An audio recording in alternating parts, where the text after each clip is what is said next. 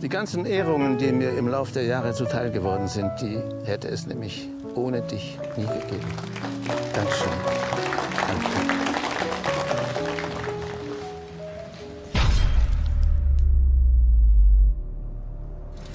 Sollte das Reichswirtschaftsministerium deine Ausreise in die Schweiz genehmigen, werden 50.000 Franken fällig. Und für was bitte? Heil Hitler.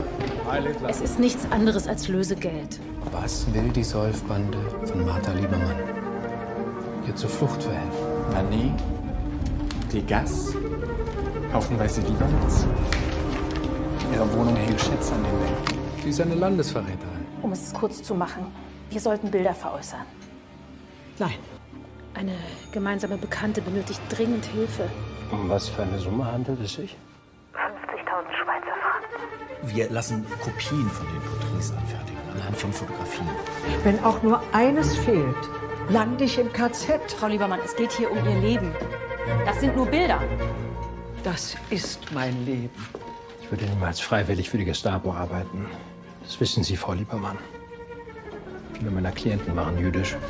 Was ist denn in dem Koffer, wenn ich fragen darf? Das, was das Feuer übrig ist. Besteck, Werkzeug. Ein bestriebenes Aas ist das.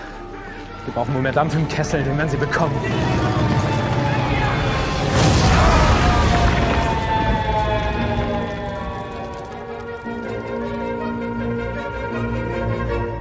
Den meisten Juden geht es deutlich schlechter. Sie wird bald einsehen, dass alles seinen Preis hat.